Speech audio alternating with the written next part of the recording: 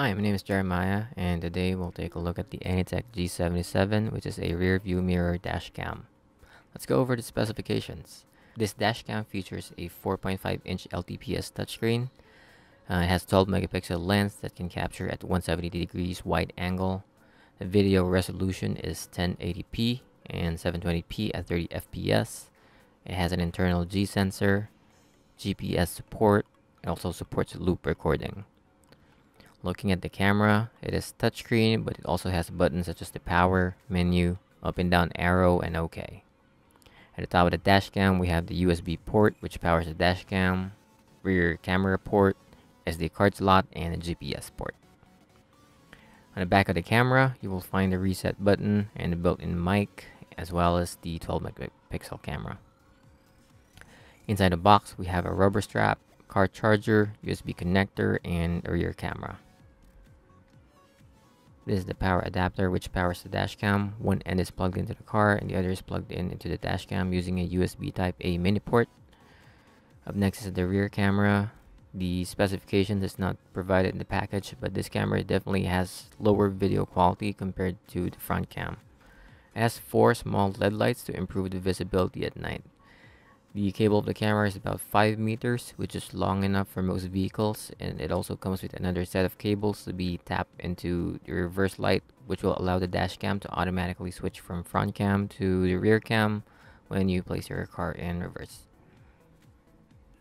Lastly, it also comes with a USB cable if you want to power it using a USB port.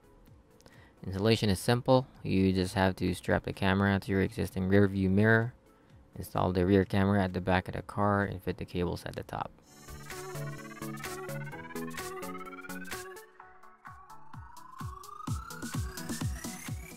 The camera will power up automatically once the car is started and the camera will start recording as soon as it's finished booting up. By default, the camera will display the front view and a small screen showing the rear view. It has a toggle switch to change it to show the front view only or the rear view only. When you put your car in reverse, it will show guidelines to help you gauge your distance when backing up. When you go to the menu, we can see options to adjust the resolution between 1080p and 720p. It also has the option to turn off auto record.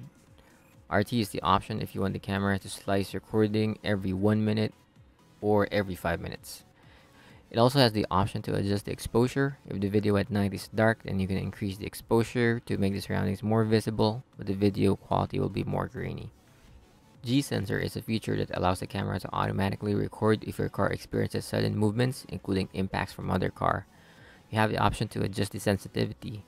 I personally set the sensitivity to low since anything higher than that sometimes records the footage when I shut the car door.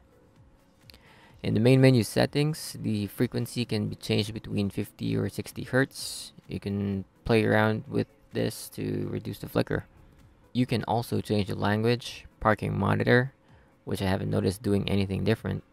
Uh, shutdown time, key tone, backlight time, power off delay, date, card format, and system info.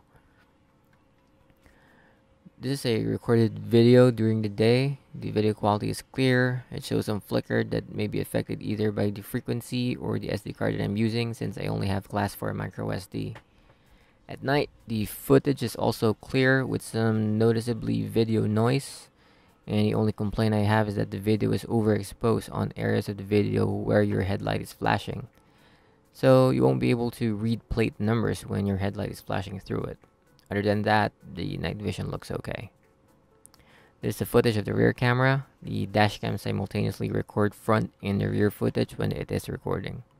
So the front camera records at approximately 157 MB per minute and the rear camera records at 45 MB per minute. The videos are saved in AVI format. So for the final verdict, the camera recording quality is clear, but it's not HD even if I set it at 1080p resolution. I suggest getting at least a 16GB micro SD card since it records at around 200 MB per minute.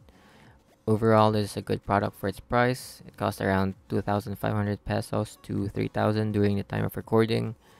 I hope you find this video helpful. If you have any questions, feel free to comment below. Thanks.